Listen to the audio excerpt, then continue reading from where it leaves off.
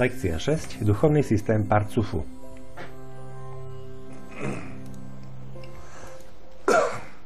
Hello, good evening to all our friends in Europe. Ahojte, všetkým dobrý večer študentom v Európe.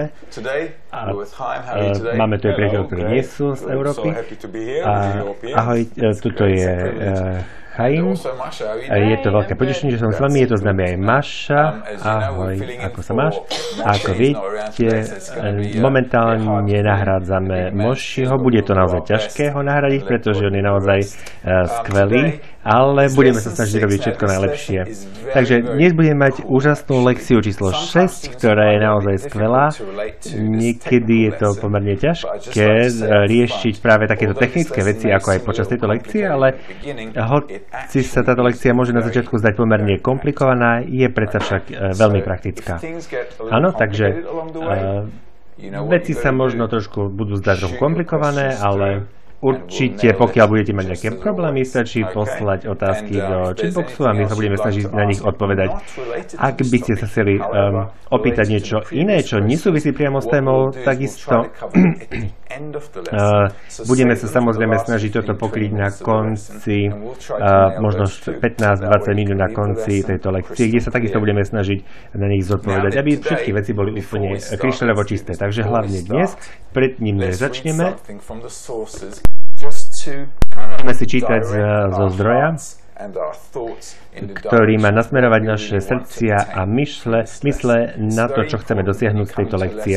Je veľmi dôležité, keď prichádzame na lekciu, keď študujeme kabalu, aby sme naozaj vedeli, čo chceme dostať z, z tohto našho štúdia. Pretože poznáme samozrejme mnohých hlupých ľudí, ale my potrebujeme vedieť, čo chceme od takéhoto štúdia dosiahnuť. Takže budeme si čítať niečo zo sociálnych alebo sociálnych spisov Rabaša. Takže tu je niečo veľmi pekné. Ak máte knihu, je to strana 17 od, od Rabaša, sociálne spisy. Mimochodom, kde môžeme kúpiť? Kúpiť takúto knižku, aby sme mohli mať takúto knihu. Potrebujete ísť do knihkupectva, alebo si ho objednať cez internet.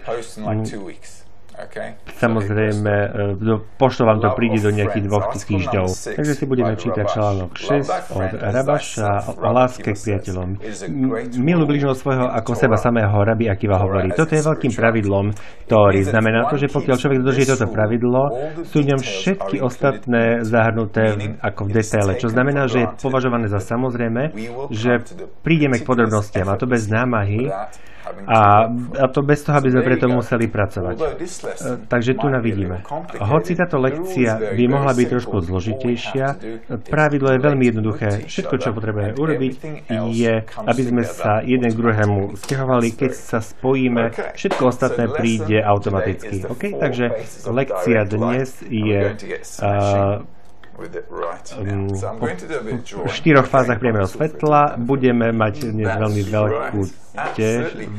Najprv si ale zopakujeme, čo sme mali počas predchádzajúcich lekcií. Takže stále začíname od predchádzajúcich lekcie, kde si potrebujeme zrekapitulovať to, čo sme už prebrali, aby naše spojenie bolo lepšie. Takže dôvod, prečo to študujeme, pretože toto je určitý vzor všetkého, model, ako všetko sa deje počas celej skutočnosti. To znamená, máme tu na, študujeme tieto štyri fázy priameho svetla, ktoré sa stále opakujú. Takže pôjdeme na štyri uh, fázy priameho svetla, ako sme to prešli, riešili na predchádzajúce lekcie a budeme sa snažiť teda si to nakresliť. Takže ako už vieme, Všetko začalo s myšlienkou. Máme stvoriteľa, ktorý chce dávať. Jeho vlastnosťou je dávanie. To znamená, že ako sme si povedali kabalisti, keď sa pozrieme na náš svet, chce nám dať všetko a chce, aby sme boli šťastní. Takže vytvoril všetko zo svojej myšlienky, kde chcel dať všetko, aby vytvoril stvorenia, ktoré budú šťastné. V tomto procese stvorenia prvá vec, ktorá, teda, ktorá tam bola, vytvorená bola práve myšlienka. Takže bol to iba čierny bod v podstate. Takže tu nám máme stvoriteľa a jeho myšlienku. A prvú vec, ktorú on stvoril, bola, bola čierna bodka. Čierny bod. Prečo je to čierny bod? Je to teda známe aj ako koniec alebo konček písmena J. Práve preto je to čierna bodka. Preto sme sa učili, že sme sa učili, že um, podľa slavnej básne Ariho uh, na počiatku bolo celé stvorenie naplnené svetlom a neexistoval žiaden priestor, ktorý bol prázdny. Za tým účelom, aby stvoriteľ mohol naplniť potešením uh, aby mu mohol dať všetko to, čo má, práve stvoril nejaký tento bod, kde to chýba. A práve to je vlastne tento počiatočný bod, tento čierny bod, áno? A z tohto on, uh, on na neho pôsobil svojim svetlom a cez tento bod, ktorý my voláme prvú fázu, uh, takže túto počiatočnú prvú fázu tohto bodu nazývame uh, koreňová fáza, alebo fáza koreňa. Takže tu máme koreňovú fázu. Ja som splnil svoje písanie, je to naozaj ťažké písať na tú tabulu.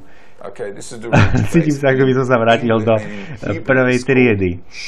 Takže v hebrejčine sa toto volá šoreš. Budem to napísať, aby sme si to pamätali. Možno niekedy si to budeme, uh, prekladáme.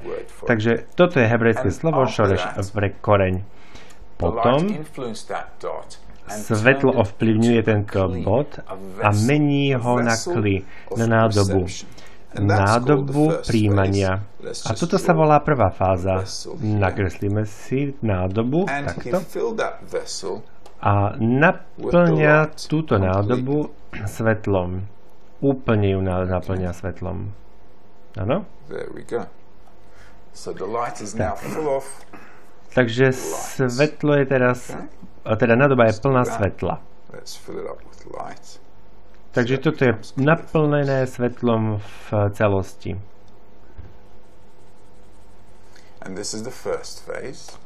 A to je teda prvá fáza.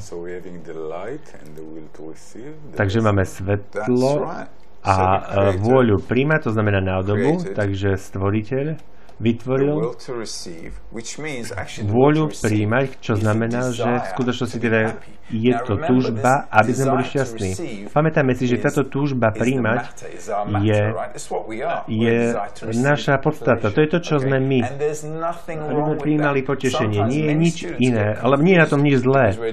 Niekedy sa študenti sú vlastne zmetený. Je to zlé, keď teda chcem mať potešenie? Stále nie, nie je to zlá vec. Je to takýto zákon. Je to vlastne účel celého života, aby sme boli šťastní. Náš problém je ten, že nevieme, ako byť šťastný. Nevieme, ako byť šťastný. To je práve náš problém. Takže máme práve štyri fázy priamého svetla, ktoré nám dávajú pekný vzor, aby sme chápali techniku alebo technikalitu, ako sa vlastne my môžeme stať šťastnými. Takže nie je nič zle na tom, keď máme vôľu tu uh, po, po potešení a všetko vlastne je nasmerované na to, aby my sme naozaj boli šťastní. Takže v tomto procese my ale musíme pochopiť, ako ho správne máme použiť. Takže máme ale svetlo, vôľu dávania, je to stvoriteľ, je to vlastne Áno, je to presne tak, ako si povedal Chaim. Takže tu máme stvoriteľa. Akákoľvek vyššia sila, áno? Toto je jediná sila, ktorá existuje. Vyššia sila. Táto tvorí nádobu, teda vôľu príjmať. A táto, toto vyššia sila je vôľou dávať alebo poskytovať. Takže toto je vlastne uh, vlastnosť stvoriteľa. Vôľa dávať. A áno, ako Chaim práve povedal, v prvej fáze uh, je to Bechina Alef, teda aspekt alebo ab, aspekt prvý. Áno, to znamená, že to je vlastne prvá fáza. Bechina Alef, alebo Kli, toto je nádoba, a v hebrejčine sa nádoba volá kli. Môžeme si takisto napísať, že to je aj uh, nádoba. Tak, teraz potom, toto je veľmi pekná situácia. Kde, čo teraz robí svetlo? Svetlo vytvorilo túžbu príjmať. Prinieslo ho do svojho maximálneho rozsahu, kde všetko táto nádoba môže prijať. A teraz dáva tejto nádobe osobitný pocit. Osobitný pocit, že existuje niekto alebo niečo, ktoré mu dáva toto potešenie. A práve toto sa objavuje práve na konci uh, tejto fázy. Máme otázku z Fredrika z Paríža. Prečo to voláme pr- priame svetlo? Je to z toho dôvodu, že existuje iba, je to veľmi pekná otázka. Máme iba jednu jedinú silu v prírode, ktorá nás ovplyvňuje. To je stvoriteľ. A hoci aj nevidíme v našom svete, ovplyvňuje nás uh, priamo. A náš vplyv, naša odpoveď je vždycky bude takisto priama. Pamätajme si, že máme vzťah medzi stvorenou bytosťou a stvoriteľom je práve iba medzi tým. To znamená, že máme priamy vzťah. Je tam v tomto svete na oko sa zdá, že ako keby stvoriteľ vytvoril vplyv na nás, on na nás pôsobí, ale, ale vplyv stvoriteľa je na nás vždycky cez toto priame svetlo.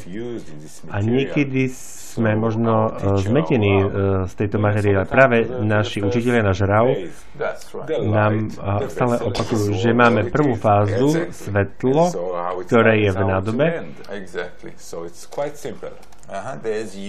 Takže je to pomerne jednoduché. Takže tu máme teba, stvoriteľa, a máme vzťah medzi, medzi stvoriteľom a stvorením a to je všetko. Je to veľmi jednoduché. Takže tento pocit, ktorý sme tu nakreslili červeným, na konci kli vzniká pocit, že niekto mi dáva potešenie. A to uh, sa dostáva dovnútra uh, tejto nádoby a začíname chápať, uh, hovorím si, niekto ma naplňa a dáva mi potešenie. A ja by som chcel urobiť to isté. Áno, je to nová myšlienka. Takže v prvom rade ja som naozaj chcel iba príjmať, ja som bol vytvorený takto svetlom, dal mi všetko a na konci tohto naplnenia dal mi pocit, že niekto ma naplňa. Je to teda veľmi kritický bod, pretože z tohto bodu, z tohto pocitu môže vo mne vyskočiť zo mne, vo mne nový, nový, nová úroveň, ktorá sa nazýva druhým stupňom. Ja to urobím čier, čiernym, nie, nie červeným. Táto druhá fáza sa nazýva Bechina Bet. To znamená druhý aspekt. Tu nakreslíme Bet. Bechina je to isté. Je to isté.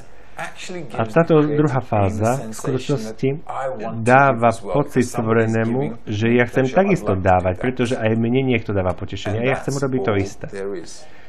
A ja teraz v podstate ako keby vraciam to potešenie. Je to ako v našom svete. Niekto niečo robí pre mňa dobre, na druhej strane mám pocit, že ja mu chcem tiež mu vlastne vrátiť uh, to, čo ono robí pre mňa. Teda je to ako v našom svete. Nie je nič uh, na nejakých oblakoch. To je to všetko, to, čo sa deje v našom živote. My prechádzame Uh, to je praktické príklady toho, čo sa vlastne reálne deje. Áno, áno, Maša, máme, sme veľmi šťastí, že si byl tam. Máme tu náš španielský uh, tým Tal and Josh. Nie je tu, nie je tu španielčina dnes, pretože tento, máme tu vysielanie, uh, uh, máme proste konflikt vo vysielaní a máme veľa Európčanov. Moment momentálne sa teraz deje veľmi veľa vecí v európskej skupine, takže my sa snažíme, aby ste mali uh, aj uh, španielský preklad, lebo zatiaľ je tam nejaký výpadok. Veľmi veľa ľudí nás chce počúvať práve spoločne. Ďakujeme vám. My sme radi teda to povedali, po španielská nevieme. Takže priamo po štyroch fázach sa vrátime aj k Rabovi samozrejme, aby sme si pripomenuli správny úmysel. Nikdy nevieme. Takže druhá fáza je veľmi dôležitá, pretože teraz toto svetlo mi dáva pocit, uh, ako ja chcem skopírovať uh, stvoriteľa, ja ho chcem zreplikovať, chcem dávať jemu naspäť. Takže druhá fáza je veľmi dôležitá, pretože teraz máme túžbu príjmať ako určitý bod, kde si ujasníme veci keď ja mm, som vôľa príjmať, prečo chcem dávať, ja vlastne nemám čo dať. Áno, ja som iba nádoba. Niekto, kto príjma to, čo stvoriteľ chce dať uh, z, ako vyššia sila. Takže ja by som chcel teda vrácať uh, toto potešenie, ale ako to mám urobiť? Takže ako to budem robiť, je dáva zrod uh, tretej fáze. Prečo vlastne kreslíme tretiu fázu? Máme, tu nám máme príbeh o prvých dvoch fázach. Sme ako fázri, ktorý dáva, ako otec, ktorý dáva svojmu synovi. A syn je samozrejme veľmi šťastný, že všetko dostáva od svojho otca. A potom máme, máme malého dieťa, ktorý chce byť ako otec, že ako otec niečo robí, napríklad s kladivom alebo podobne, takže vlastne chce robiť to isté, čo robí ten jeho otec. Chce byť taký ako otec. A teda dá si ruky do a ešte nie som ako otec, takže ťažko môžem urobiť to, čo robí on. Takže ja chcem niečo dať, ale zatiaľ nemám čo dávať. To je presne tak. To je veľmi dobrý príklad.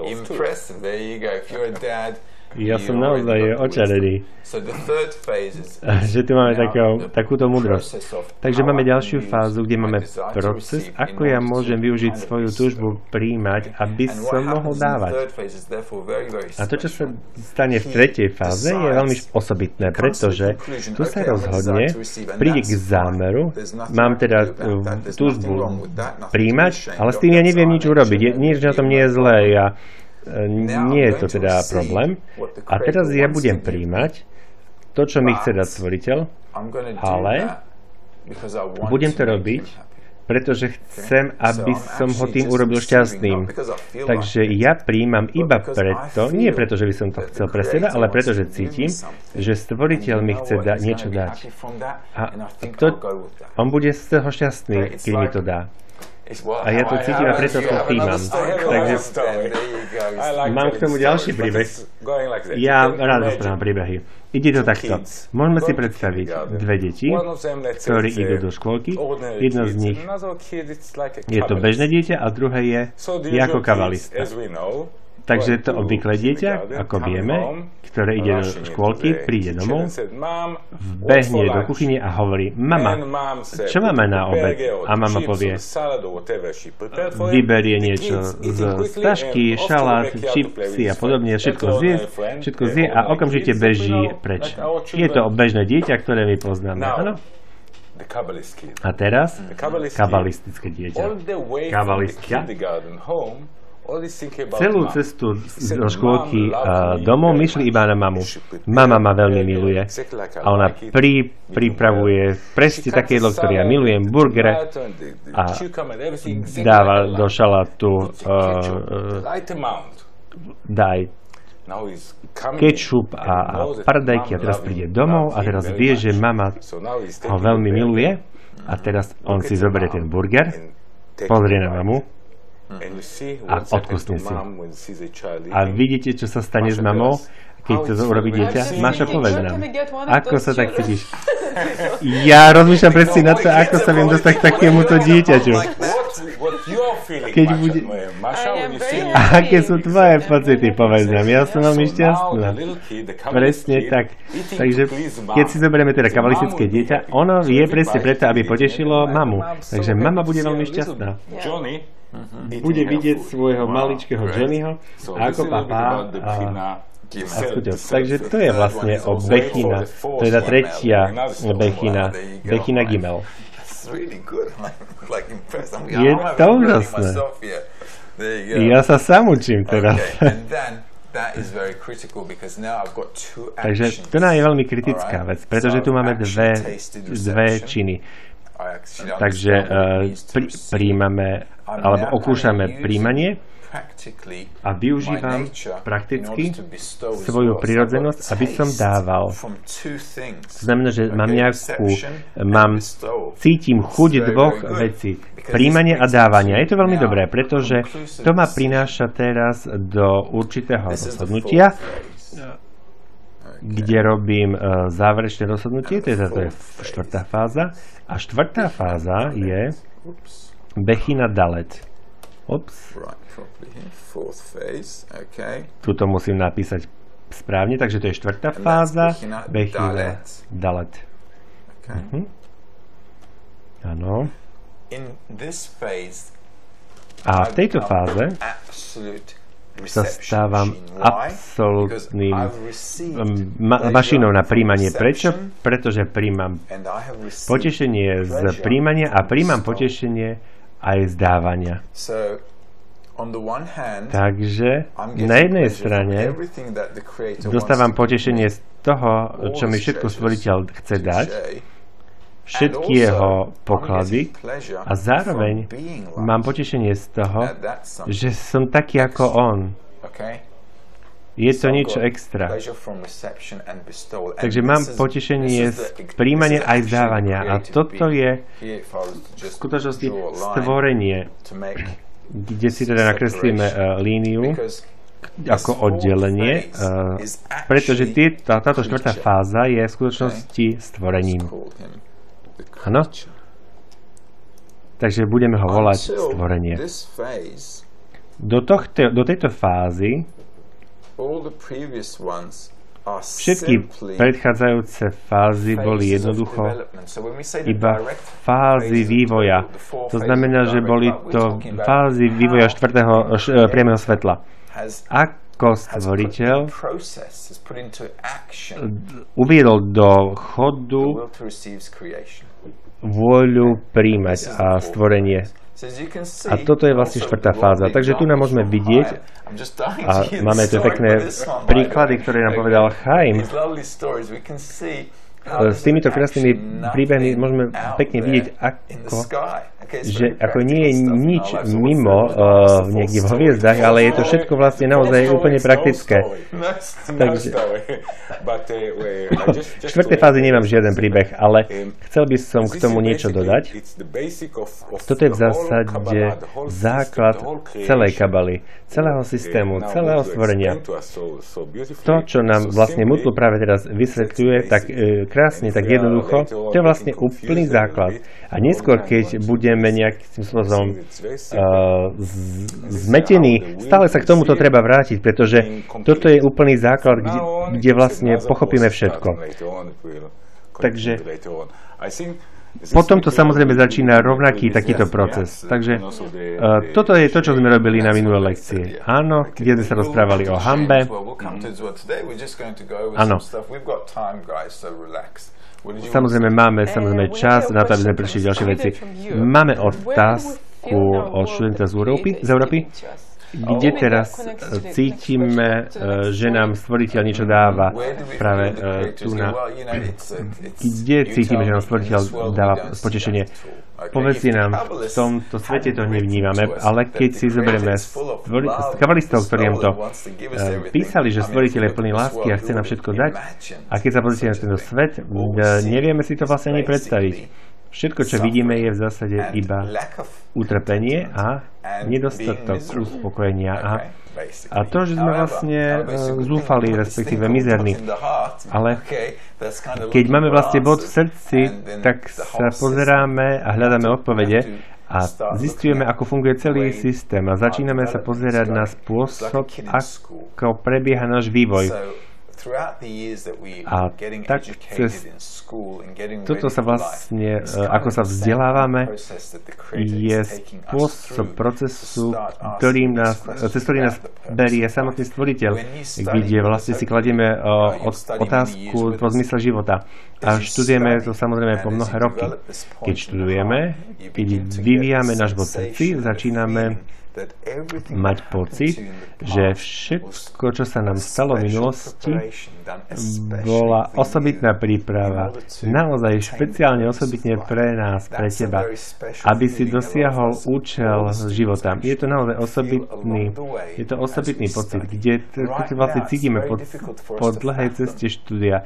Je to naozaj ťažko nejako uh, si to predstaviť ako môže byť vlastne takáto milujúce stvorenie, keď si zoberieme celé ľudstvo a v celej našej histórii, kde je plné utrpenia a biedy.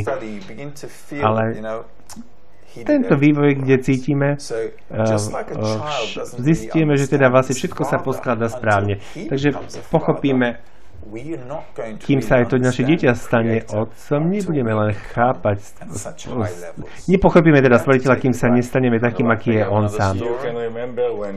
Máme nejaký ďalší príbeh? To Môžeme si samozrejme spomenúť, keď sme chodili do školy, ja som napríklad nerad chodil do školy. Bolo to ako keby trest od mojich rodičov. Ja by som radšej samozrejme radšej eh, jazdil na koni, než chodil do, do, do, do školy. Boli to zlí rodiči. To taká bola môj pocit, taký bol môj pocit. A neskôr, keď som sa sám stal rodičom, a pochopíš, že pochopíš, nakoľko teda vlastne tí rodičia sa o teba starali, keď teda do školy posielali. Takže je to práve takto, vidíme aj my to tak. Keď, keď niekto eh, sa pozerá sa pozerá na to, čo, čo je všetko okolo neho. Keď nie sme takí, ako si spomenul, keď neštujeme,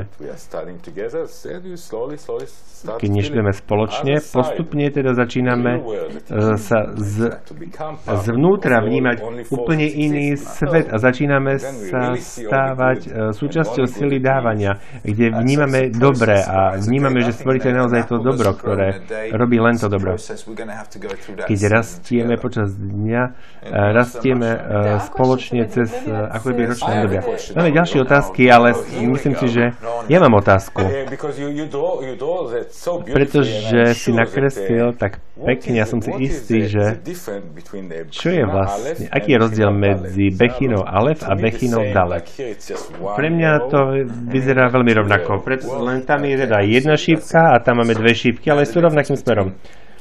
Takže rozdiel medzi eh, Bechinou Alef a Bechinou Dalef, teda toto prvou fázou a štvrtou fázou, vychádza z takého vývoja, že ja teda príjmam potešenie z dvoch vecí.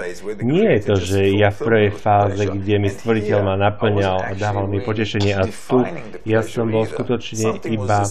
Uh, je to ako moja mama, ktorá mi dávala, ja som dieťa a dáva mi, dáva mi, strčí mi do úst uh, fľašu a ja proste, a sa s tým dobrá papám. Ale nemáš vlastne žiaden výber. Nemáme žiadne skutočné pochopenie. Uh, ale tento proces, cez ktoré prechádzame, cez tieto fázy, ma privádza na miesto, kde ja získavam potešenie, respektíve pocit toho, že stvoriteľ mi dáva toto všetko potešenie a že všetko mi dáva, čo mi môže dať. Nie len teda tú fľašu s mliekom. Takže ja chápem, že on mi dáva naozaj všetko, čo mi môže dať. A ja som ako naozaj jeho syn, takže môj otec je... Začnem chápať, keď ja už som veľký, ja by som všetko, všetky tie veci, ktoré má môj otec v pokladnici. A takisto jeho trón. A ja teda chcem zobrať jeho trón. A to sa potom volá Malchut, teda kráľovstvo. Takže to je vlastne uh, túžba prijať všetko. To znamená všetko to, čo, uh, čo má, plus ešte jeho miesto a ešte, a ešte viac. Áno, áno. Dalet. Naozaj je to uh, túžba po všetkom úplne. Máme otázku Romiala z Francúzska o, o presne tejto veci. Ako tieto štyri fázy sa prejavujú v našom živote. Sú tieto štyri fázy tým, ako sa vytvárajú všetky naše nové túžby, pretože uvidíme, že keď budeme vlastne študovať stále tieto veci, začneme vidieť všade, že keď vidíme dieťa, keď má napríklad rok a pol, alebo dva roky, alebo odskúša prvýkrát čokoládu a potom vidíte to dieťa, je to, je to naozaj veľmi vtipný moment, alebo zmrzlina, alebo niečo podobné. Pamätám si, môj tretí chlapec, keď teda ochutnal prvýkrát zmrzlinu, dal si iba kúsok a potom začala tá zmrzlina pracovať. Čo to je? Čo to je? Odkiaľ to prišlo? A potom postupne prišiel moment v konečnom dôsledku, kde on pochopil, že toto je zmrzlina a toto je vlastne, mraznička je to tam. A ja sa môžem teda tam dostať k tomuto zdroju a on to všetky tieto, celý tento proces, o ktorom sme tu rozprávali, začal pracovať v, v ňom a takto vlastne funguje naozaj pre každú jednu túžbu, ktorú máme, ktorá v nás, túžba potom takto vznikne a, a rastie. Áno. Maša. Je to naozaj veľmi praktické. Mašin syn naozaj veľmi pokrokový. Mám rovnaký obrázok so svojou dcerou. Keď bola ročná, tak vtedy teda odskúšala zmrzina, dala si kornutok a všetko si to obchala rovno naraz do pusy celú zmrzlinu. To bola voľa príjmať. Čistá voľa príjmať. Takže to bol Dalet. Takže Maša to povedala veľmi presne tu. Takže všetko začína s myšlienkou. Potom táto myšlienka vyvíja sa takým spôsobom, že teda vo mne sa vyvíja, že ma vytvorí sa niečo v mojom živote. Je to prvá fáza. Druhá fáza je taká, že prichádzame ku završeniu, že musím dať niečo zo seba. Keď chcem vybudovať si napríklad dom, musím uh, niečo robiť, aby som to všetko dal dohromady. Postupne sa takto uh, vybudováva celá vec. a na, komo, na, na konci máme celý dom a mám potešenie z toho, že som ho vybudoval a potom mám aj potešenie z toho, že, uh, moja, že som mal moc to vybudovať. Takže takto to vlastne od najmenšej myšlienky až do jej realizácie. cez tieto štyri fázy prechádzame v každej jednej veci kde teda rozprávame ale samozrejme o duchovných svetoch. Tu na si musíme pripomenúť, ako aj Maša povedala, že všetko je v, na, všetko je v duchovnosti. A možno by sme mohli potom neskôr pokračovať ďalšie veci, ale ešte predsa sa chcem vrátiť k jednému. Frederikovi z Paríža, ktorý sa pýta, prečo je líniou, prečo je spojenie medzi, medzi uh, dvomi a dvomi fázami. Ja to nakreslím na osobitnom papieri, pretože štvrtá fáza je už celá, celá, celé stvorenie. Je to vlastne, ja chcem všetko. Chcem aj pokladnicu, aj, aj trón kráľa. To je tá voľa príjmať. A to je vlastne všetko. Prečo nás aj stvoriteľ vytvoril? Pretože on nám naozaj chce dať všetko. Keby mi dal, nebol by skutočne uh, dobrým stvoriteľom, keby mi dal iba polovicu. Ale on je naozaj dobrý stvoriteľ a on mi chcel dať úplne všetko.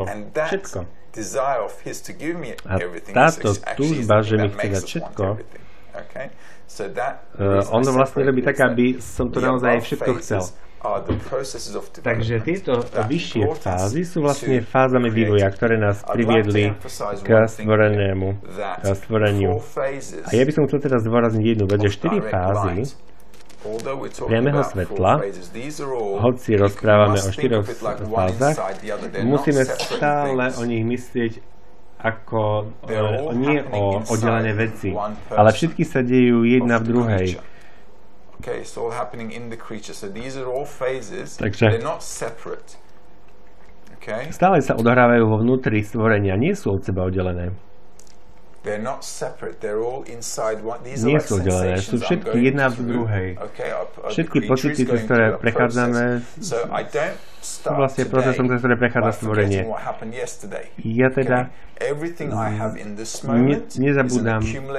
Všetko to, čo mám v tomto momente, je ako, vlastne zhrnutie toho, čo som mal v predchádzajúcich rokoch a momentoch svojho života. To znamená, ja na to nezabúdam. To znamená, že štyri fázy sú stále inkluzívne a zároveň aj súhrné k tomu, kde to stvorenie bola je. Nie je to od seba oddelené. A takto máme vlastne jedno stvorenie. Niečo iné? ešte máme, Maša? Tamara zo Švajčiarska, možno to je asi posledná, pretože musíme sa pohnúť ďalej. Tamara zo Švajčiarska sa teda pýta, je čierny bod eh, v fáze koreňa? Je vlastne srdce, ktoré sa vyvíja.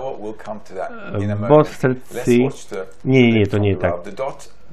Pozrime si ale najprv bod v srdci, lebo bod v srdci, ktorý, o ktorom správame, je vlastne vývoj túžby. Je to osobitný brat priateľ, ktorý nasleduje až potom. Budeme o tomto rozprávať samozrejme. Ale najprv si teda pozrieme klip Rava a potom sa vrátime naspäť k veci. Častokrát obrázky, a, ktoré sa mi uh, zobrazujú, keď čítam test Talmud uh, uh, 10 sefirot, mi stoja vlastne v ceste. Ako ja si môžem usporiadať svoje myšlienky, aby svetlo mohlo na mne pôsobiť efektívne? Ak si predstavím sama sebe veľakrát uh, v skupine zloženej nie z tiel, ale z túžob, keď, sa, keď si to viem urobiť a keď sa spojím s túžbami a želaniami a túžbami, uh, ktoré sú nasmerované na účel stvorenia, na stvoriteľa, ak si takto predstavím seba v skupine, potom som veľmi blízko uh, toho opísaného stavu, uh, v ktorom bol Adam Harishon. Mhm. To je všetko. Keď rozprávam o skupine, nerozprávam o telách. Nerozprávam o túžbách, túžbách iba, iba o túžbách, ktorí sú vo vzťahu nasmerovaní na smriteľa, ale iba až keď, sa spojení, keď sú spojení, až vtedy sa vytvorí parcu Adama Harishona. Uh, on existuje alebo nie? A ak ho nedosiahneme, potom neexistuje. No ale ak ho vybudujeme, potom, potom existuje. A už sme naspäť. A to bolo bez u, u varovania. Tak. tak, čiže uh, dúfam, že sa vám páčila rabová definícia. Takže máme 4 fázy. Pôjdeme teda do ďalšej fázy. Verím, že je to všetko jasné. Všetko sa samozrejme úplne jasne týka nášho života. Je to veľmi praktické. Všetko, nad čím myslíme, na všetko, čo robíme v našom živote, kde sa spájame. Všetko je v podstate uh, jednoduché. Ďalšia fáza je veľmi dôležitá. Pretože ďalšia fáza po štvrtej fáze je pocit, ktorá v skutočnosti definuje veľmi kritický moment náš vzťah, ako my potrebujeme ovládať alebo riadiť tento vzťah, ktorý máme so stvoriteľom. Takže po štvrtej fáze, keď som sa rozhodol, alebo som sa rozhodol, je to ako zlý sen, syn, áno? Čítali sme si Uh, je to zlý syn, ktorý chce teda zabiť svojho otca, lebo chce jeho poklady a jeho trón. A potom povie ahoj uh, starému pánovi. Ano? Takže to je vlastne štvrtá fáza. A on skutočne cíti, ako keby si to naozaj ja som stvorenie, uh, ty si ma stvoril a ty mi teda dačo dlží, dlhuješ. On teda cíti sa ako a, stvoriteľ sa cíti ako otec a je to jeho. Takže to je pocit, áno, že chceme všetko od stvoriteľa. Jeho trón. A to si potom zistí, uvedomí jednu vec. Aký on je odlišný protikladný, aký je jeho vlastnosť. Úplne protikladná vo vzťahu k stvoriteľovi. Keď sa teda vrátime k tomuto, keď odhalíme všetky svoje túžby, je to teda ten konečný uh, bod uh, štvrtej fázy Dalet. Áno, nakreslíme si tu tento konček, kde teda odhalíme svoje zlo, odhalujem takisto, aký odchylný som, aký hrozný som v porovnaní s týmto milujúcim, súcitným, starostlivým otcom, ktorého mám. Záver je taký, že sa cítim veľmi zle. V duchovnosti sa to nazýva hanba. Takže po štvrtej fáze, čo sa stane, je to, že... Ops, dám si naspäť čiernu. Mimochodom, kým to Mutul nakreslí, je hanba v kan, že ty máme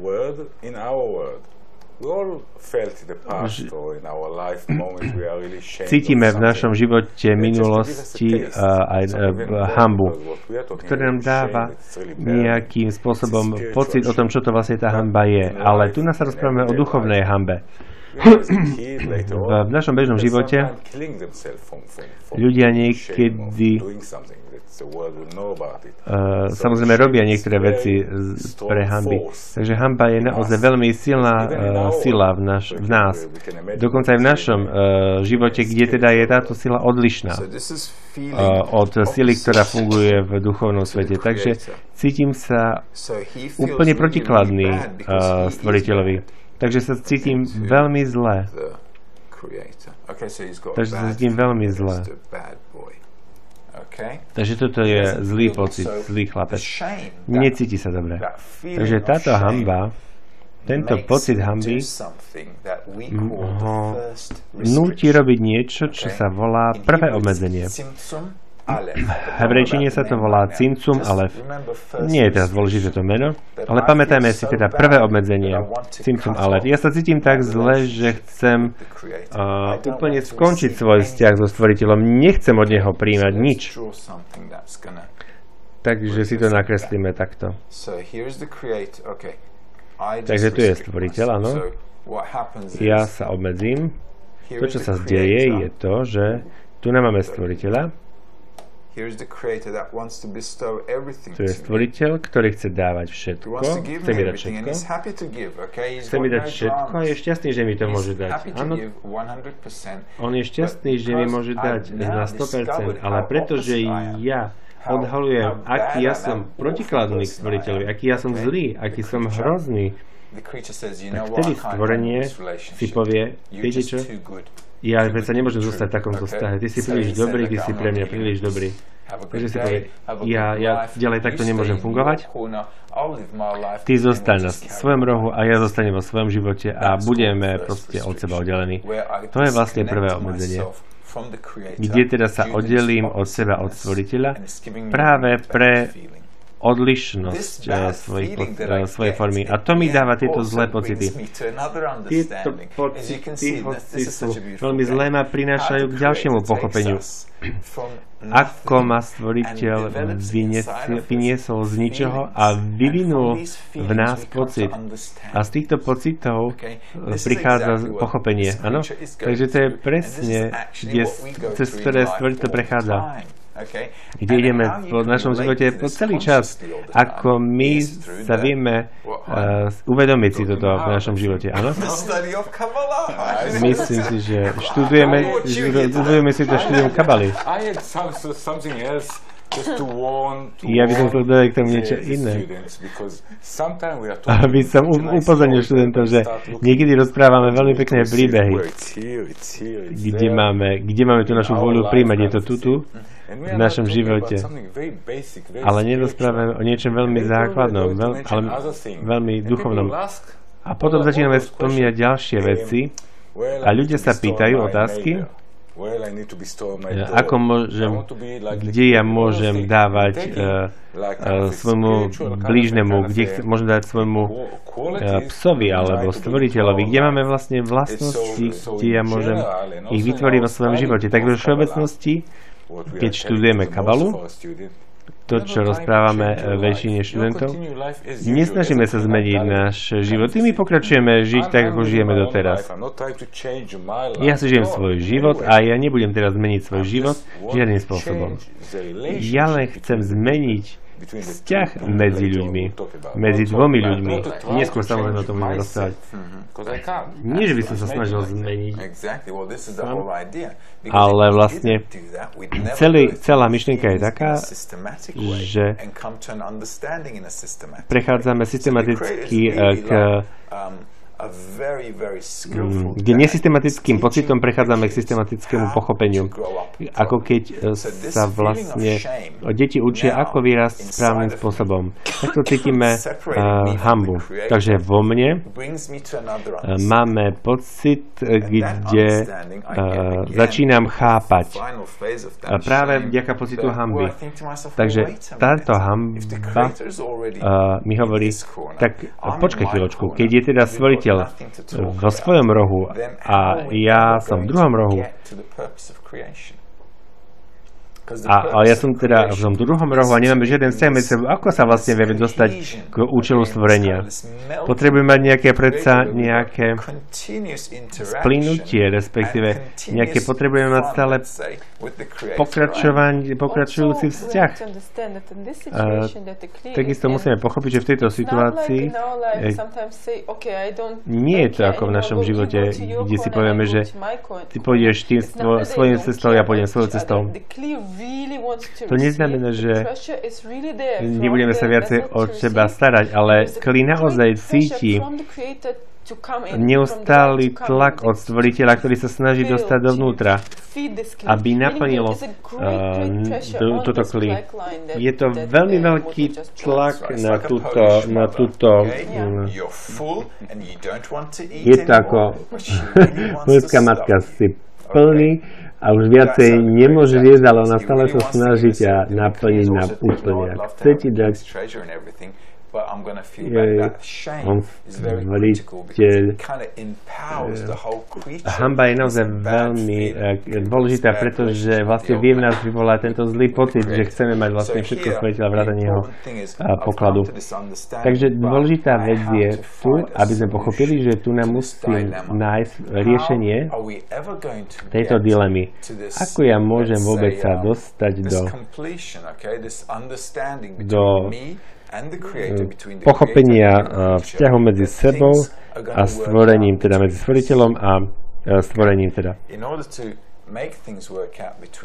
Aby sme to mohli sfunkčniť, potrebujeme teraz začať sa pozerať na, na vlastnosti stvoriteľa a naše vlastnosti a našu povahu a stvoriteľovú povahu ako môžu vzájomne uh, spolupracovať, ktorý nám vlastne dal uh, pocit príjmania, pocit alebo chuť dávania, dal nám uh, pocit, že začíname chápať, aký je účel stvorenia, kde my potrebujeme naozaj si zobrať všetko. To nie je problém si všetko zobrať. A takto nám aj vysvetlil, že my potrebujeme vlastne brať ale niečo musím urobiť preto, aby som mohol zobrať. A teraz sa k tomu sme vlastne dostali. Tak čo je toto uh, niečo? Áno? Chcela si niečo povedať? Áno, španielské kly by ti chceli porozumieť. A práve preto prosia o preklad. Ja sa naozaj ospravedlňujem. Teraz pôjdem hovoriť, hovoriť pomalšie. Okay. Mutlu. Možno by sme si mohli urobiť uh, jednu vec, že počas predchádzajúcej lekcie sme si kreslili nejaké obrázky. Začneme na novej strane. Mimochodom, prečo začíname kde sme sa učili od troch uh, smeroch. A začneme s tým, čo vlastne potrebujeme? Potrebujeme trpezlivosť. Oh, Bože. Mimochodom, všetci čakáme na to, kým naplníme nádobu. Takže možno poďme ďalej a máme nejaké otázky, Maša? Máme mnohé otázky. Ale neskôr. Takže potom, čo bola fáza hamby, stvoriteľ a stvorenie začínajú na seba opätovne vzájomne vplývať. A začínajú chápať, ako, teda stvorenie začína chápať, ako je vybudovaný tento vzťah. Ako cez tieto štyri fázy začíname sa naspäť opätovne vracať a ako pred nami funguje Práve tento vzor, ktorý zahrňa všetko a ukončuje všetko. Možno, že už to poznáte. Celý kurz. Máme veľkú mapu a my sa stále my sa približujeme na jedno miesto a oddelujeme a pôjdeme na iné miesto, sa približujeme, zase sa oddelíme. Je to ako prvé taký bod voľa príjmania. A potom prejdeme celkom dole, kde uvidíme Peknú cestu hore. Úžasné. Takže takto ideme. Začneme si kresliť. Akurát som to stratil. Tak, už Now I'm just going to draw nice and easy. Don't panic. Takže nakreslím pekne ľahučko, I'll nepanikárte a potom to vysvetlím. To všetko bude veľmi pekné a veľmi jednoduché. Now the Creator created us first in the first Takže- phase, like we said before. Okay. In the V first prvej phase, fáze stvoriteľ stvoril nás, ako sme si už boli povedali, kde svetlo nás úplne naplňa vo svojej dokonalosti. Okay. So here we are, feeling that Áno, takže tu sme, kde cítime túto dokonalosť. And afterwards, A did we potom, say? We said He develops us. Čo sme povedali, že nás teda vyvíja.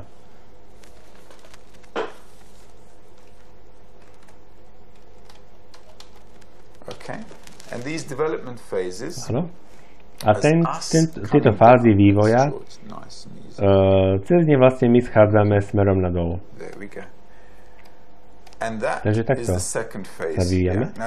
A tu nám máme druhú fázu.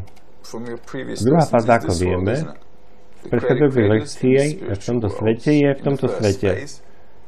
My sme boli stvorení v duchovnom svete a teraz vlastne sa vyvíjame, prechádzame cez proces z duchovných svetov, kde zostupujeme do nášho sveta. A tu sme celé ľudstvo, ktoré prechádzame cez historický, alebo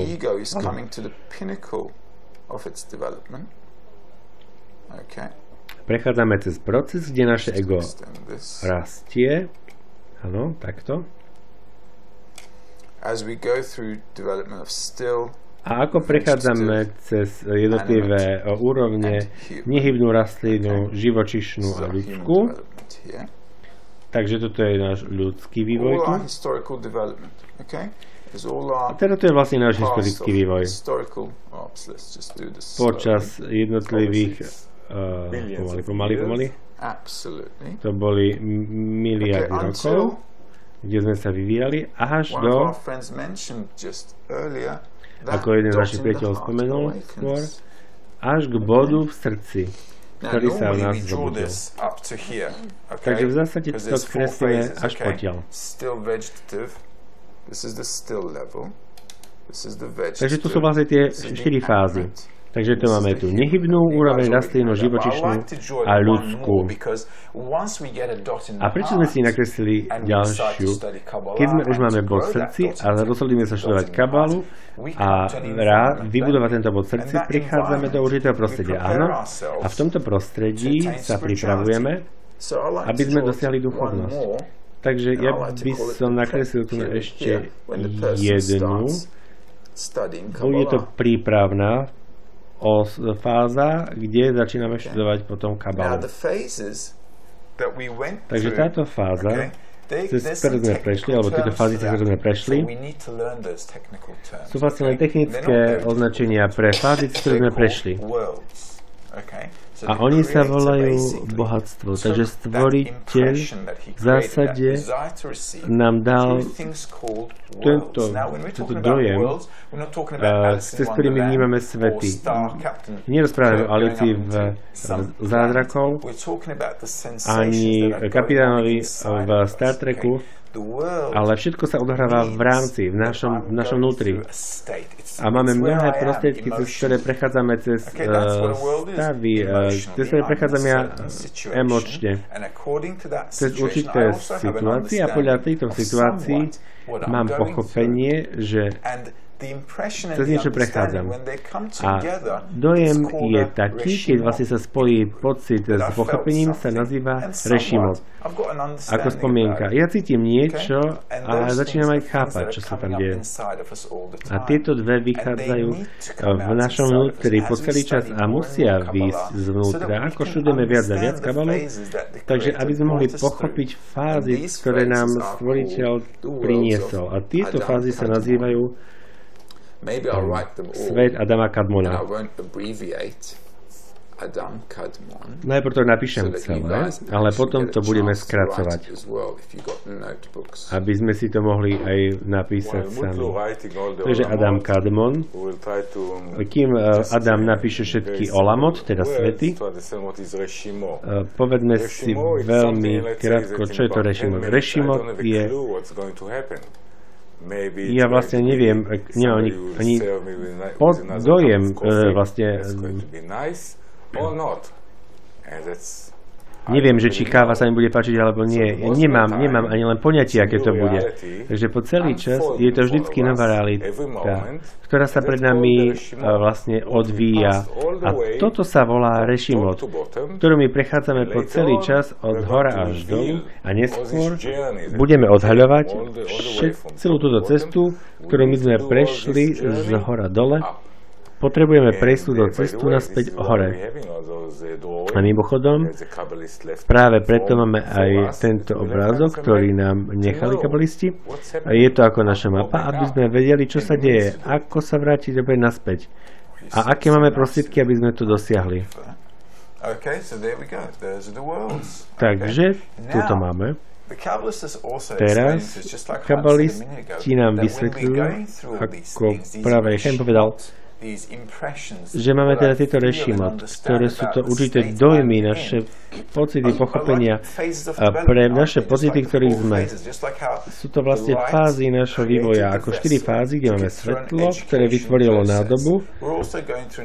Je to ako nejaký vzdelávací proces. Cez tento proces prechádzame, kde prechádzame v interakcii s túžbou a svetlom. To je všetko to, čo je v skutočnosti, čo funguje v skutočnosti. A musíme si to možno zapamätať z tejto lekcie, že teda máme túžbu, teda nádobu a svetlo, ktoré ovplyvňuje.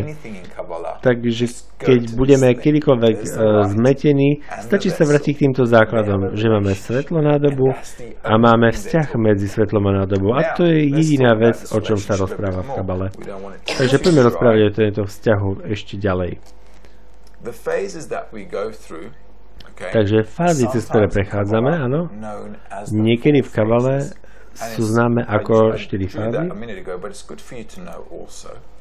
Ja to budem teda uh, opäť hovoriť. Je dobré, že by si to vedeli. Prvé je uh, konček písmena J, čo je vlastne Adam Kadmon, svet Adama Kadmona. Potom je to svet Acilut, čo je vlastne to písmeno J. Potom je svet Beria, čo je sve, uh, písmeno Hej. Jecira, svet Jecira, to je písmeno Bau. A potom je svet Asia, ktorý je opäť písmenom How. Takže- to je niečo, čo nám síce Moše nehovoril, aby sme sa učili, ale myslím si, že je dobre to vedieť. Je to teda ten uh, Jod, him, Vau, you Hej. Ah, Keď povieme Jod, He, Vav, Hej, Učili sme sa to teda tu práve, e, treba si to pamätať. Je to vlastne spôsob Havajach, je vlastne Jud, He, Vav, Hej, Vav, Hej v inom poradí samozrejme povedané, lebo sa to nevyslovuje. A vlastne vieme hneď, o čom sa rozprávame. Rozprávame o tom, ako zostupujeme do sveta na dolu. A vôbec je to celý, e, celý model vývoja. Takže v každom zo svete e, máme osobitné osvetlenie. Za každým, keď naše deti vyrastú, zmeníme s nimi určitý vzťah. Ne, ne, samozrejme, so svojím synom, keď má rok, keď má 6 rokov, ani keď má 20 rokov, ani keď má 10 rokov. Takže rovnako aj stvoriteľ e, sa k nám vzťahuje podľa svetiel. A tým dávame teda iné mená. A prečo? Pretože rastieme. Ako rastieme, menia sa nám uh, mená pre svetlo. Ale v zásade to svetlo je stále to isté. A máme to ist, tú istú nádobu. V podstate svetlo nemá v skutočnosti mena, ale to je len dôsledok toho, že vzťahy sa nám menia.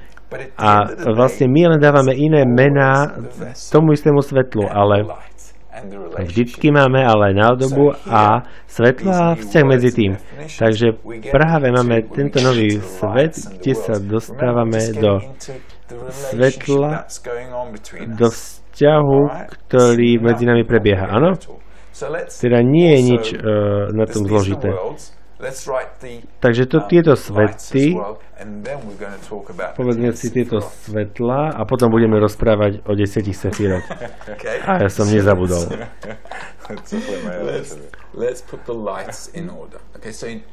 Takže nakreslíme si aké because tu máme. Takže každý svet má svetlo. Pretože ako sme si povedali, ako rastieme, na, duchovnosti svetla, ktoré dosahujeme, voláme rešim, uh, nešama. Nešama je svetlo vo svete Asia.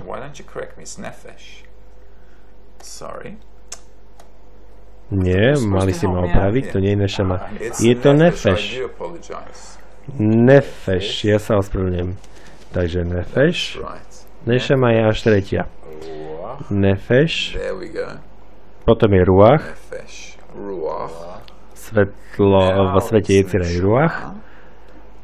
Potom je to nešama vo svete Beria.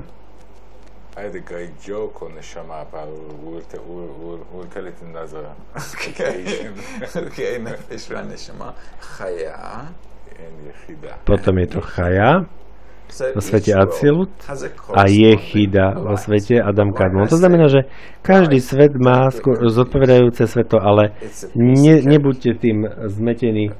Je to ako torta, kúsok torty. Predstavte si svojho mamu, oca, up. chcú, aby ste boli zodpovednejší, keď vyrastiete. A čím sme starší, tým sú rodičia vyžadovačnejší. Takže stvoriteľ takisto mení náš vzťah, And teda svoj vzťah k nám. A potom máme krásnu vec, ktorú to je 10 sefirot. It's Tam vobcháš tých 10 sefirot do toho. Preč, veď sa spýtaj toho, kto má predsa skúsenosti. Chaim. Takže tu nám máme Keter, začneme z vrchu. Keter. Keter, Okay. And then we have koruna. Chochma. Potom máme Chochma,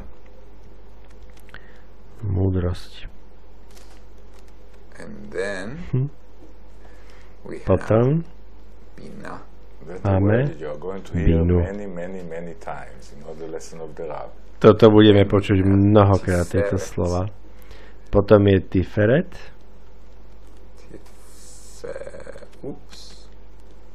on.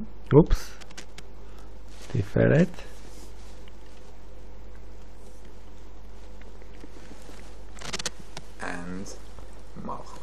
a Malchut. Masha, how many you are, you are counting there? Many? Maša, koľko si ich tam narátala? Ja som narátala We 5. mentioned 10 Sefirot. A Mutl povedal 10 sefirot. Tak, Malchut like this, right? Okay. Malchut. Now I did mention, I did mention 10. Ja som ale spomenul 10 10 sefirot. A oni je stále 10 sefirot. A prečo? Nie 9, nie 11, stále 10. I also want to just add one more thing here in case you're Chcel wondering where the som dodať ďalšiu vec. Keď máme všetky tie štyri fázy, je to všetko vo vnútri. Keď si zoberieme na prekrytacej stránke, desire to receive here. máme tu teda túžbu príjmať. Áno. Takže to môžeme tam dodať. Aby ste videli, ako sú vo vnútri poskladané. This is how they relate to every world. Takže takto sa vlastne oni týkajú každého jedného sveta. the root phase. A tam máme vlastne Here we have fázu koreňa. A tu máme Malchut, ktorá chce všetko. Okay. And Very nice. Also. A now Je to veľmi pekné basically, je to veľmi múdro nakreslené. Takže je to Určitý 10 obrazok, ktorý by si Sephiroth zmyselný normally, pamätať v hlave. Takže máme 10 sefirot, ale Tiferet zahrňa 6 sefirot. Takže tam je Keter, Chochma, Bina, Tiferet, a, ma, Malchut. Ale? Tiferet No, je, then neviem, kde to nakreslíme, nakreslíme si tam šestku, lebo ono zahrania šesť ďalších. O ktorých sú? Tiferet, Je Chesed, Hod, Tiferet. Necach, Hod, Jesod. A nemusíme si ich stále teraz momentálne pamätať, ale stačí, aby sme vedeli, že je 6. Ale je tu pomerne veľa písania. Máme tu 100% svetla hore a 0% svetla na spodku. Takže za každým je tam menej a menej, menej svetla, ktoré prechádza od stvoriteľa až do našho sveta, kde vlastne je, úplná, kde je úplný opak, kde je teda 0, svet, 0% svetla, kde nemôžeme cítiť jeho dobro, ktoré on nám chce dať. A keď začneme vzostupovať, pomaličky začíname uh, vnímať všetko dobré, ktoré nám chce dať. Takže to je vlastne základná myšlienka. That's right. A my sme tu presne kvôli tomu. get 0% light, and A tu nám máme feel 0% miserable. svetla no a práve preto sa tu cítime uh, mizerne. Nemáme tu vlastne stvoriteľa. It's not shocking, Je tu naozaj šok, šokujúce. Uh, je to naopak, je to veľmi jednoduché. On nás vytvoril v štyroch fázach. Priniesol nás dole do tohto sveta, kde vlastne my sme prešli túto dlhú cestu, aby sme zase dosiahli účel stvorenia, áno? To je bod v srdci a tu začíname študovať kabalu. Všetko, čo musíme urobiť, nie je vôbec komplikované. Všetko, čo musíme urobiť, aby sme spojili všetky, všetci sa a všetci ľudia v skupine up. A začali opäť vzostupovať uh, cestou nahor. Čo budeme robiť? Ja som to ešte nespomenul, tú skupinu, ale možno budeme skutočne trošku rozprávať o tomto kroku, kde máme ľudí, ktorí sú spolu, ktorí sa rozhodnú, že teda budú sa snažiť uh, takto uh, vzostupovať uh, k stvoriteľovi. Takže máme najprv otázky. Máme samozrejme máme otázky, ktoré sa týkajú rôznych fáz našho obrázka. Felice from Italy. asks, Felice z Talianska eh, sa nás pýta, kde je Masach? Masach tejto. Ja som to ešte nenakreslil, to je ďalšia fáza, o ktorej budeme rozprávať, ale pred kongresom. Elis Holandska sa pýta, musíme vidieť uh, stvoriteľa ako nejakú neosobnú silu? Stvoriteľ nie je samozrejme starý detko, ktorý sedí na, um, na obláčiku, ale je to sila, ktorá ovplyvňuje, ktorá nás ovplyvňuje. Nie je to ako nič eh, fyzické, čo si vlastne ľudia hlavne v náboženstve predstavujú. V Kabale, kde rozprávame o stvoriteľovi, rozprávame o jeho vzťahu k nám, ako my ho vnímame. Potom Berute z Vilniusu. Čo znamená, keď hovoríme vyšší, o vzťahu k svetlu, a čo definuje svetla? vysoký a dolný? Vyšší znamená, že som viac uh, milujúci, viac dávajúci a dolný znamená, že sme skôr egoistickí, ako v našom svete, kde sme iba egoistickí. Čím sa snažíme uh, dostať vyššie, tým sme vlastne viac a viac milujúci. To je vlastne jediný rozdiel medzi duchovnosťou a telesnosťou.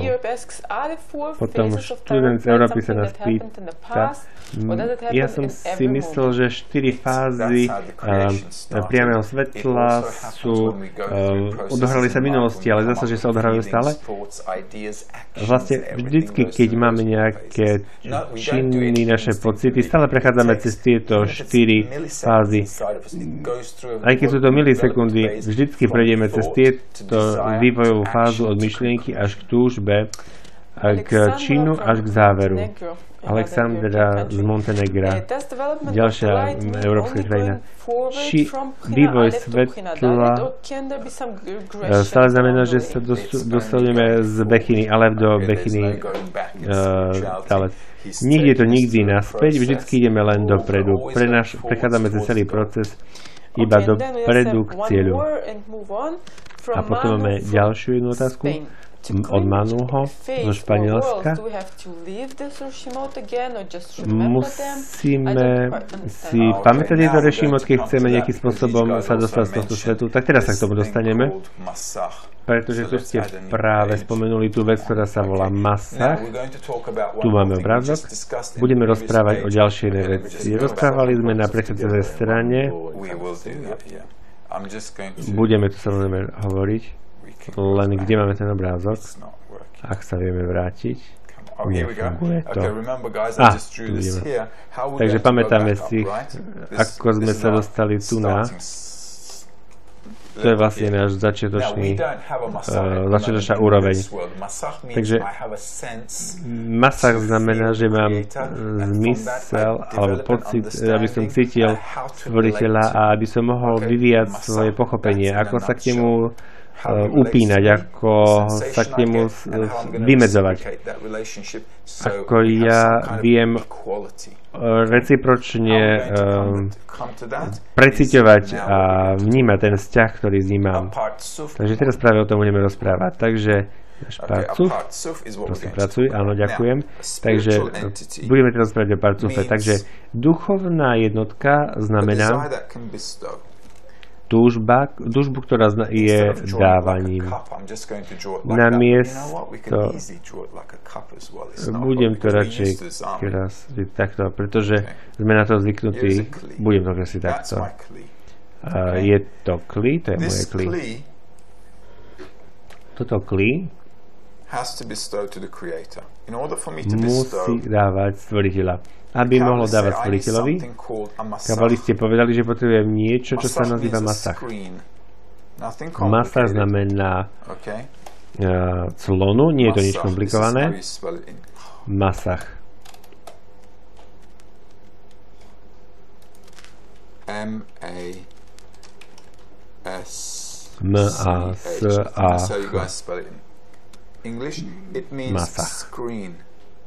To znamená clonu.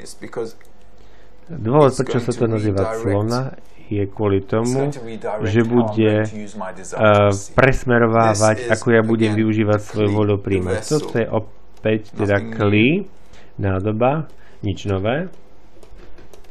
Nádoba. A toto je to všetko to, čím som ja. Odtiaľ až sem. To je vlastne moja vôľa príjmať, moja túžba príjmať, moja masa. Na začiatku lekcie sme povedali, že, že vôľa príjmať nie je ani zlá, ani dobrá. Ale je podstatné to, ako ja ho využívam, aký je môj úmysel. Tento robí dobrým alebo zlým. To znamená, že masa znamená, že ja využívam svoju túžbu príjmať s úmyslom, aby som dával. To je všetko to, čo znamená. To je vlastne masa. Takže keď stvoriteľ chce mi dávať, posiela mi svoje priame svetlo. Priame svetlo. Volá sa to Or Jašach. Jašar. Ak ja mu chcem dávať, chcem mu vlastne vrátiť jeho uh, to, čo robí pre mňa, to sa nazýva vracajúce svetlo. And that's called Or Hoser. It's my bestowal to the Creator. A to je vlastne uh, Or Hoser. To je svetlo, ktorým ja dávam stvoriteľovi za účelom, aby som teda príjmal toľko, koľko len viem dávať. Budem príjmať toľko, koľko viem dávať budem toľko príjmať do svojej nádoby.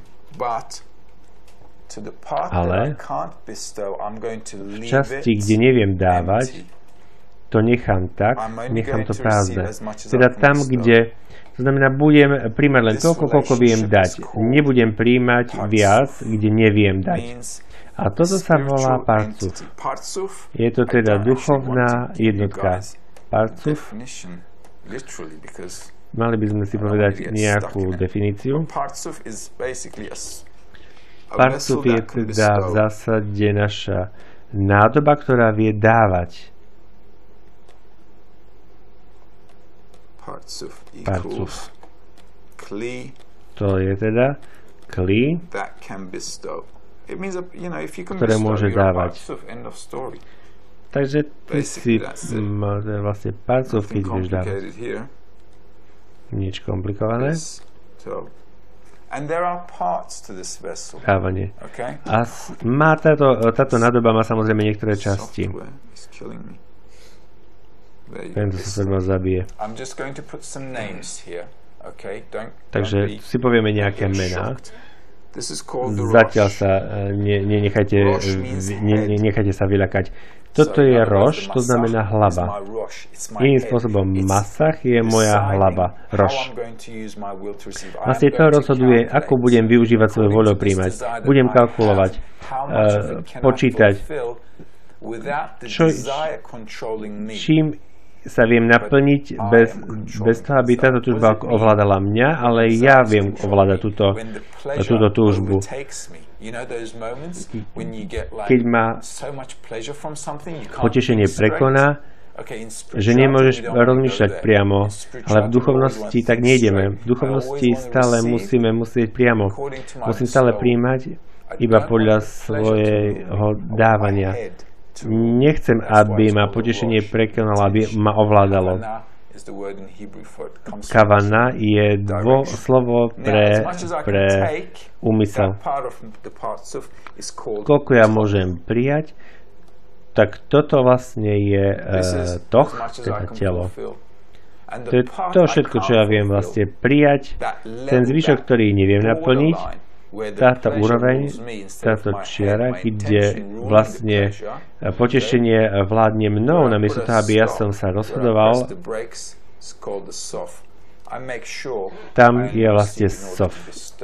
and som si istý, že viem prijať iba toľko, čo budem dávať a nie viacej. A toto vytvára rovnosť podľa mojeho, mojej úrovne príjmania. Na konci budem schopný prijať celú nádobu, aby som dával stvoriteľovi úplne. Ale potešenie nebude cieľ, cieľ bude iba nadávanie. Nebude teda zamerané to na príjmanie, ale iba nadávanie. Takže toto nie je nič komplikované. Je to veľmi jednoduché na pochopenie. Ja príjmam do tej úrovne, kde mi enough. Like drinking Uh, ja si berem toľko, koľko viem a z toho využiť. Aj napríklad pijem alkohol. Pijem wine do určitej úrovne, po it. určitej úrovni už nebudem piť, pretože potom všetko stratím. A ja to nechcem stratiť. Je to naozaj takto. Je to praktický príklad. Mm, takže má, máme nejaké otázky? Ja mám otázky, odpovede. Chcela by som opäť povedala, ako povedal, že je veľmi dôležité, že toto nie je pre deň, každodenné použitie, to nie je niečo, čo, že pôjdeme domov a budeme rozmýšľať, kde sa budeme obmedzovať, kde teda vlastne, uh, ako, je to naozaj čisto duchovná, duchovný proces a budeme o tom rozprávať viac a viac. A hoci si budeme hovoriť príklady z nášho života, je to skutočne len duchovná záležitosť. Tu si nakreslíme svetlo, áno, tu na začína s machsom. Ja to tu napíšem. To nie je niečo, čo ja budem robiť v tomto svete, ako Maša povedala. Machsom.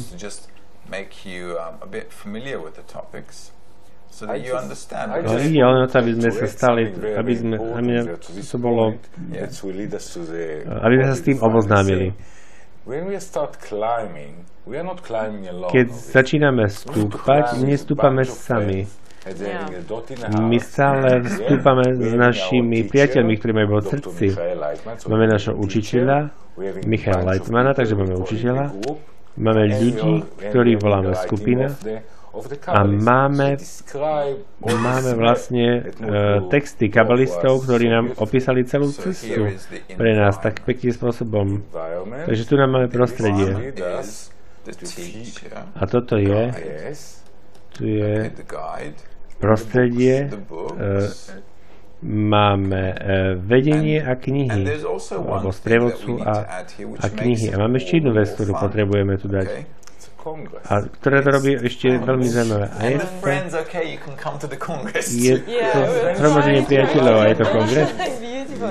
Snažíme sa k tomu dostať, ale skutočne kongres je, je všetko o tomto poslednom bode, kde sa snažíme rozprávať, kde budeme v tomto samozrejme rozprávať v ale keď môžete vidieť, sa snažíme vám povedať nejaké príklady počas lekcií, aby ste mali pocit spojenia, spojenia s témou, spojenia s celými procesmi, ktoré sa odohrávajú. A cez celý tento proces spolu s, s vodcom, s knihami, dochádzame k úžasnému príkladu, ktorý môžeme si povedať, a duchovnej práci, ktorý je práve kongres, áno? A tu nám máme práve niekoľko kongresov, ktoré sú pred nami, o ktorých budeme rozprávať e, o chvíľočku. Počas e, poslednej lekcie sme vás prosili, aby ste nám poslali klipy, kde sa nám predstavíte, odkiaľ ste, pretože naozaj z našej skúsenosti z minulosti a vzdelávacieho centra vidíme, že kongres je naozaj kombinácia prvého a druhého semestra a počas druhého semestra začíname sa začíname spoznávať podľa našich otázok a podobne. A preto vás teda prosím, aby ste sa nám uviedli a povedali nám, odkiaľ ste a pýtali sa na otázky, ktoré súvisia s kongresom. Takže máme už nejaké otázky z nášho úžasného priateľa. Možno, možno niektorí poznáte z otázok. Eugenio, predstav sa nám. Ahojte všetci, som Eugenio z Portugalska. Chcel by som poblahoželať našim učiteľom za krásne lekcie, ktoré sme mali. Chcel by som všetkým poďakovať za túto príležitosť že sa môžeme stretnúť na, na kongrese a chcel by som vedieť, aký je správny zámer pre týmto stretnutie. Chcel by som vedieť, kde môžem nájsť informácie o praktických veciach, ako kde spať, čo budeme jesť, aké sú náklady a tak ďalej. Ďakujem veľmi pekne. Okay, this is a, thank you. It's a great, okay, great je, question. Ďakujeme, toto je krásna otázka. What we can say, we are so happy now and it's, Čo môžeme povedať? Sme takí veľmi radi. Možno 100 alebo tisíc študentov celého sveta sa pripravuje na pre úžasnú sezónu, sezónu kongresov. Nastavujúce kongresy budú v Amerike, v Severnej a Južnej. Budeme mať e, v Bielorusku ďalší kongres, bude teda úžasný kongres, kde sa budeme všetci Európe takisto stretávať, aby sme teda spojili a uskutočili aj praktickú kabalu, teda spojenie medzi ľuďmi to bude v Rumunsku. Takže všetky informácie, ktoré máme, sú na webovej stránke. Pardon, pre Európske kongresy ešte to nie je tam, ale budeme, hneď keď budeme mať informácie, budeme to hovoriť aj na našom kurze a samozrejme budeme mať aj webovú stránku, kde, ktorá bude venovaná príprave, kde budeme presne také veci, čo potrebujeme vedieť Všetko to bude date. na internete. Máme zatiaľ len stanovené dátumy, kde to bude. To znamená, aby sme si vedeli zobrať know, voľno v práce, práci, pretože tieto dni sa už nebudú posúvať. Neberte si samozrejme voľno No, teraz, I- ale I- I- musíte si nechať nejaké voľno práve na tento kongres. Budete ho potrebovať do budúcna. Takže dni sa teda už nebudú meniť. Stvoriteľ je naozaj vtipný. Aj keď si myslíte, že sú nejaké veci, ktoré sa nebudú meniť, budú sa 4th meniť. to Ale teda 6th tieto dátumy sú od 4. do 6. 2015. septembra Please save the 2015. date. And all the rest, Prosím, of course, takže logistic eh, zabezpečí si tieto dni a všetky ostatné ďalšie technické informácie budú nasledovať neskôr.